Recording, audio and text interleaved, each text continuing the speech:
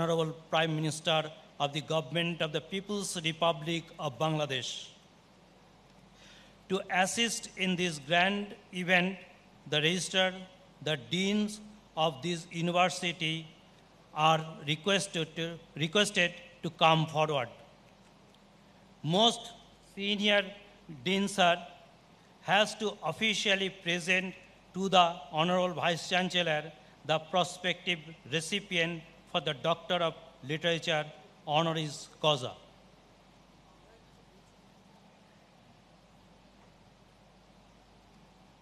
Sir, I am privileged to present to you Madam Sheikh Hasina, the Honorable Prime Minister of the Government of the People's Republic of Bangladesh for the conferment of the degree of Doctor of Literature honorary causa, which has been recommended by the Executive Council and confirmed by the Honorable Chancellor, His Excellency, the Governor of the West Bengal.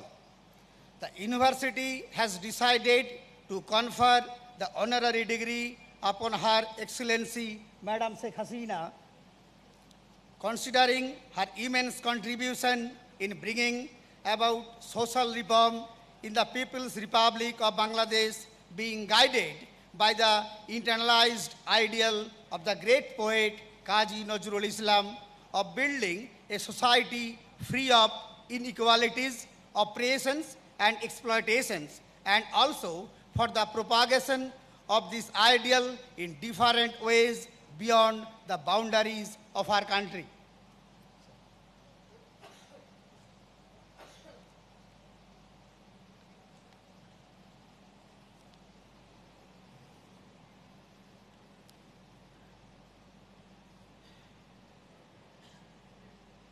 The court of Kaji University is pleased to confer upon you, madam, the degree of Doctor of Literature honoris causa.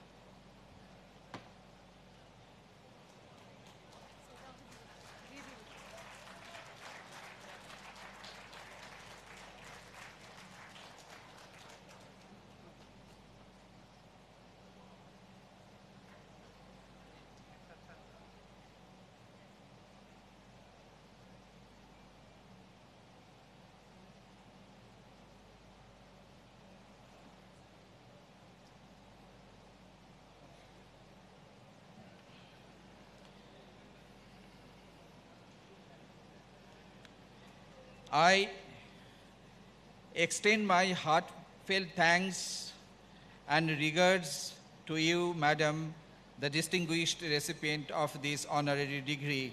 May I, now, may I now request you, Madam, to say a few words on this auspicious occasion? We are eagerly waiting to listen to you, Madam.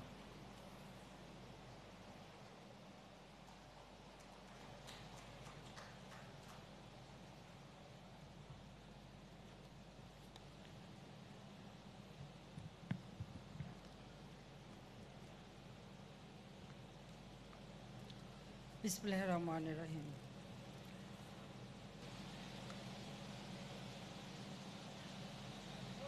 উপস্থিত সম্মানিত পশ্চিমবঙ্গের শিক্ষামন্ত্রী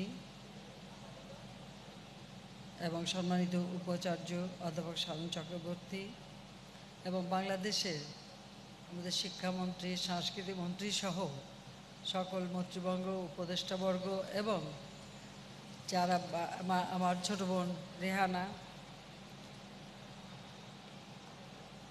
এবং বাংলাদেশ থেকে আগত সকল সহকর্মীবৃন্দ এবং উপস্থিত সদ্য স্নাতক শিক্ষার্থীবৃন্দ এবং যারা গোল্ড মেডেল পেয়েছে এবং সুধী মণ্ডলী সকলকে আমি আমার আন্তরিক শুভেচ্ছা জানাচ্ছি। বাংলাদেশের জাতীয় কবি কাজী নজরুল ইসলামের একশো উনিশতম জন্মবার্ষিকী পালিত হচ্ছে। বাংলাদেশে আমরা গতকালকে পালন করেছি, পশ্চিমবঙ্গে আজকে। আমার সৌভাগ্য যে কবির এই জন্মদিনে তারই স্মৃতিবাহী এই বিশ্ববিদ্যালয় এখানে আমি আসতে পেরেছি। আমাকে আমন্ত্রণ জানানো হয়েছে। সেজন্য আমি আন্তরিক ধন্যবাদ জানাই। কারণ আমার জন্য এই দিনটি অত্যন্ত তাৎপর্যপূর্ণ। আর বিশেষ করে আমি ধন্যবাদ জানাই পশ্চিমবঙ্গের মাননীয় গভর্নর শ্রী কেশরীনাথ ত্রিপাঠী। যদিও তিনি উপস্থিত হতে পারেননি, গতকালকে দেখেছি তিনি খুব অসুস্থ ছিলেন। তাকেও আমার আন্তরিক ধন্যবাদ এবং ধন্যবাদ জানাই পশ্চিমবঙ্গের মাননীয় মুখ্যমন্ত্রী মমতা ব্যানার্জিকে, যিনি এই বিশ্ববিদ্যালয়টা প্রতিষ্ঠা করেছেন। আমাকে যখন দাওয়াত দেওয়া হলো, আমি তখন সাথে রাজি হলাম, শুধু একটি নামের জন্য, সেটা হচ্ছে আমাদের জাতীয় কবি কাজী নজরুল ইসলাম। তার নামে এই বিশ্ববিদ্যালয় থেকে একটি সম্মানসূচক ডিগ্রি পাওয়া, এটা আমার জন্য অনেক বড় পাওয়া। অনেক বড় বেশি আমি মনে করি। এবং এটা বাংলা, শুধু আমি না, বাংলাদেশের জনগণ, তাদের জন্য বিরাট সম্মানের। কারণ তিনি শুধু আমাদের জাতীয় কবি নন, আমাদের দুই বাংলার মানুষের হৃদয়ে তিনি আছেন, আমাদের চেতনায় আছেন, আমাদের প্রতিটি সংগ্রামের সঙ্গে তার নাম জড়িত। কাজে এই সম্মান এই সম্মান শুধু আমার নয়, এ সম্মান বাংলাদেশের জনগণের। আমি এবং প্রতিটি বাঙালির, আমি উৎসর্গ করছি সকল বাঙালির জন্য এই সম্মানটুকু। কবি নজরুল, যিনি সবসময় আমাদের চেতনায় জাগ্রত থাকেন, কারণ আমাদের বাংলা সাহিত্যের আকাশে নতুনের কেতন উড়িয়ে ধূমকেতুর মতোই ছিল বিদ্রোহী কবির আগমন। এবং বাংলা সাহিত্যে তিনি সোনার ফসলে ভরিয়ে গেছেন। তিনি শুধু যে কবি ছিলেন তা না, একাধারে তিনি কবি। তিনি ঔপন্যাসিক, গীতিকার, সুরকার, কণ্ঠশিল্পী, সংগীত পরিচালক, নাট্যকার, নাট্যাভিনেতা, সাংবাদিক, সংবাদ সম্পাদক এবং সৈনিক। কি, কোথায় না তার বিচরণ ছিল? কবি নজরুল ছিলেন এক বিস্ময়কর প্রতিভার অধিকারী। তিনি অসাম্প্রদায়িক চেতনায় বিশ্বাস করতেন এবং তার যে বাণী, মানবতার প্রতি এ বাণী, কাজে তার মানবতার বাণী, তার বচন এবং আচরণে প্রতিনিয়ত প্রতিফলিত ফলিত হয়েছে তার লেখনীর মধ্য দিয়ে। এবং আমরা দেখি একদিকে যেমন তিনি আমাদের ইসলাম ধর্ম, এই ইসলাম ধর্মের তিনি হাম নাথ থেকে শুরু করে আমাদের এই ধর্মকে বাংলা ভাষায় সাধারণ মানুষের কাছে তিনি নিয়ে গেছেন। আবার ঠিক পাশাপাশি আমরা দেখি যে তিনি ইসলামের বাণী ও বক্তব্য যেমন সহজ ভাষায় সাধারণ মানুষের কাছে পৌঁছে দিয়েছেন, ঠিক সেই সাথে সাথে শ্যামা সংগীত কীর্তন, বৈষ্ণব গীতির রচনা করে তিনি হিন্দু ধর্মের বাণী পর্যন্ত পৌঁছে দিয়েছেন সাধারণ মানুষের মাঝে। ঠিক এই ধরনের বিরল প্রতিভা এটা সত্যি খুব কম দেখা যায়। নজরুল তার সঙ্গীতে যে সুরের বিস্তার করেছেন, তাতে রয়েছে আরেকটি দিক, উচ্চাঙ্গ সংগীত। এই উচ্চাঙ্গ সঙ্গীতের সাথে, বাংলা ভাষায় উচ্চাঙ্গ সঙ্গীতের সাথে একটি বাংলা গানের সাথে অপূর্ব সংমিশ্রণ তিনি ঘটিয়েছেন, যা তার প্রতিটি সঙ্গীতের মধ্য দিয়ে আমরা পেয়ে থাকি। আমাদের নজরুল ইসলাম অত্যন্ত দরিদ্র ঘরে জন্মেছিলেন, তার জন্য তার নাম দুঃখ মিয়া কিন্তু তিনি দুঃখ মিয়া না। তিনি শৈশব থেকে যেভাবে কষ্ট করে বড় হয়েছেন, কিন্তু সেই সাথে সাথে তিনি তার জীবনকে উৎসর্গ করেছিলেন মানবতার জন্য, মানব প্রেমে, মানুষের অধিকার প্রতিষ্ঠার জন্য, মানুষের কল্যাণের জন্য। তিনি যেভাবে নিজেকে উৎসর্গ করেছিলেন এবং মানুষের অধিকার প্রতিষ্ঠার যে কথা তিনি লিখে গেছেন, আমরা যখন আমাদের অধিকারের আদায়ের জন্য সংগ্রাম করেছি, আন্দোলন করেছি, প্রতিটি ক্ষেত্রে নজরুল কিন্তু আমাদের চেতনায় জাগ্রত ছিলেন। আপনারা জানেন, সর্বকালের সর্বশ্রেষ্ঠ বাঙালি জাতির পিতা বঙ্গবন্ধু শেখ মুজিবুর রহমান বাংলাদেশে শোষিত, বঞ্চিত মানুষের ভাগ্য পরিবর্তনের জন্য সংগ্রাম করেছেন, আন্দোলন করেছেন এবং বারবার কারাবরণ করেছেন। ছোটবেলা থেকে বাবার সঙ্গে বোধহয় অধিকাংশ সময় দেখা হতো কারাগারে, কারণ তিনি বাংলার এই নিপীড়িত নির্যাতিত মানুষের কথা বলতে গিয়েই তা, তাকে কারাবরণ করতে হয়েছে।